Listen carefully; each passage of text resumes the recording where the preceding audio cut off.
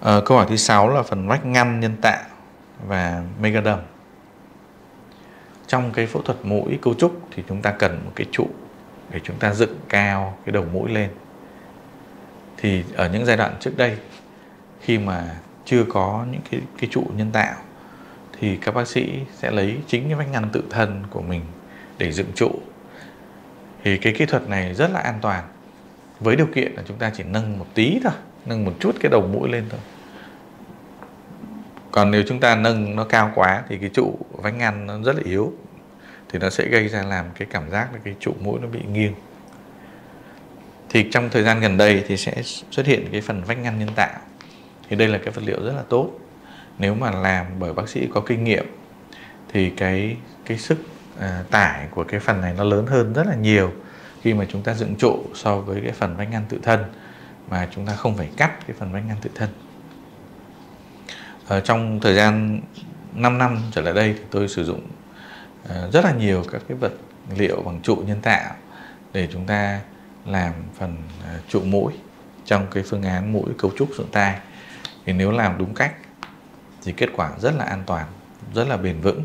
Còn nếu chúng ta lạm dụng quá nhiều cái trụ nhân tạo ở cái vùng này thì lúc đó cái tỷ lệ thất bại nó sẽ cao hơn ví dụ như là nó sẽ có thể bị chọc ra ngoài niêm mạc mũi của các bạn, hoặc nó sẽ chọc ra cái phần đầu mũi của các bạn, hoặc là ờ, nó sẽ gây ra nhọn, gây cảm giác rất là khó chịu, hoặc nó sẽ làm ảnh hưởng đến cái ờ, độ bền, cái độ ổn định của cái vách ngăn của các bạn. Do đó đối với cái trụ nhân tạo là cái vật liệu tốt được sử dụng ờ, vừa phải trong cái phần dựng trụ mũi thì kết quả sẽ rất là an toàn và rất là bền vững còn mega đồng thì là là cái chất liệu nó tương đương với cái phần moza nhân tạo. À, cái chỉ định sẽ dành cho các bạn khi bị da mỏng. Da mỏng quá chúng ta đặt chất liệu vào cái nguy cơ nó bị lộ cái chất liệu qua da nó sẽ lớn hơn tức là chúng ta nhìn thấy lớn hơn. Thì mega đồng tức là nó sẽ phủ lên trên nó giống như các bạn đang khoác thêm một cái áo nữa vậy. Nó làm cho cái da nó dày lên.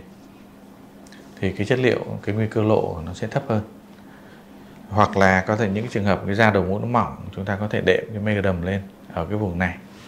À, tuy nhiên khi sử dụng quá nhiều vật liệu nhân tạo cùng một lúc có nghĩa là chúng ta vừa sử dụng sống mũi nhân tạo vừa sử dụng trụ nhân tạo là một loại khác nhau rồi vừa sử dụng cái sống à, cái phủ bề mặt là megadom nữa thì nó sẽ tăng cái nguy cơ bị dị ứng hoặc là nhiễm trùng lên.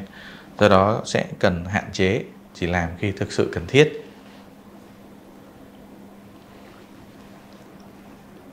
Thì đó là cái vật liệu megadom chúng ta sẽ không lạm dụng vật liệu này khi không thật sự cần thiết, vì thứ nhất nó sẽ làm tăng cái chi phí phẫu thuật lên, thứ hai là nó sẽ làm tăng cái nguy cơ bị dị ứng vật liệu hoặc nhiễm trùng vật liệu.